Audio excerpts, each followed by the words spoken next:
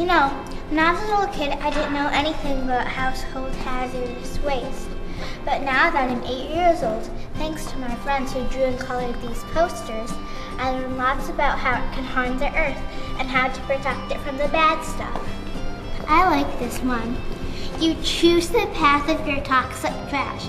If you don't properly dispose of your household hazardous waste, it ends up in the land, air, and water. Gross. It's your home, protect it. If we don't recycle the icky stuff like antifreeze, oil, batteries, paint, bleach cleaners, we are harming our own home. Me and my friends, we want to keep the earth clean and healthy.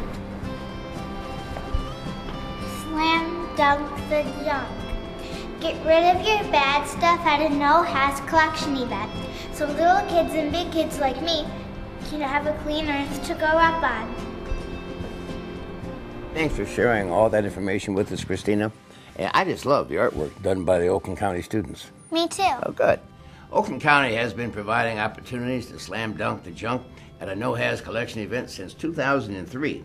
And thanks to the Oakland County No-Haz program, 4.2 million pounds of household hazardous waste has been put in the right place. Join us in improving our quality of life by dropping off your household hazardous waste at a No-Haz collection event near you.